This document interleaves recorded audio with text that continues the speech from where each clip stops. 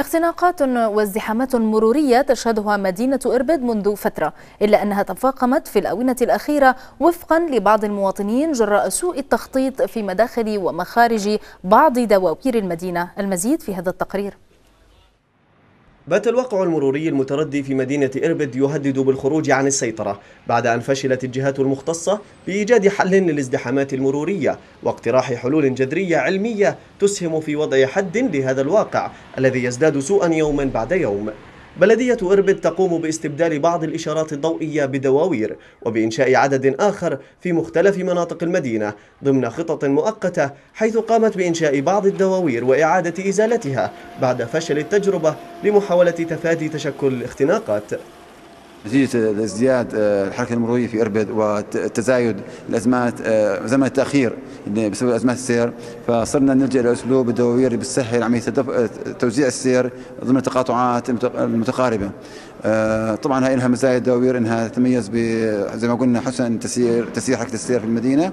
غيرها كمان مستوى السلام المروري العالي. مواطنون رفضوا خطط البلدية باستبدال الإشارات الضوئية بالدواوير. حيث أشاروا إلى أن أعدادها أصبحت كبيرة في المدينة وأن هذه الدواوير تتسبب بأزمة مرورية خانقة وأن حالة الطرق في السابق كانت أفضل. هذا الدوار جاي على يعني على مصلب الطرق والشوارع هذه اللي عليه يعني تعتبر شوارع رئيسية.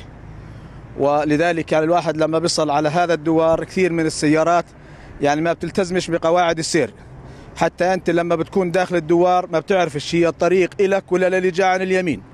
وأطلق المواطنون على بعض الدواوير أسماء مثل الدوار الثلاثي لوجود ثلاثة دواوير في المنطقة لا تبعد عن بعضها سوى عشرات الأمتار وعملت على زيادة الاختناقات المرورية بدلا من تسهيلها وآخرون استهجنوا قيام البلدية بإنشاء ميدان بشكل مستطيل بعكس ما هو متعارف عليه. وبحسب الدراسات العلمية الأخيرة الخاصة بالازدحامات المرورية تعد الدواوير إحدى المسببات للازدحامات وإن إنشاء الأنفاق والجسور والتقاطعات المرورية أفضل من إنشاء الدواوير.